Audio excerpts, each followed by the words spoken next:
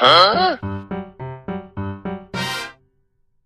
网传一则行车摄录仪画面，显示一辆红色第二国产可纳利轿车驶向收费站的无线射频识别系统 RFID 通道时即放慢车速。视频显示后方车辆司机以为可纳利轿车扫描不成功，于是后退让对方有空间后退和前进重新扫描。结果该可纳利轿车在没有扫描成功、栏杆没有打开的情况下，竟然直接穿过双开的栏杆中间缝隙，在没付过路费的情况下通关。此事相信是于本月二十日下午四时许，在沙安南大道的收费站发生。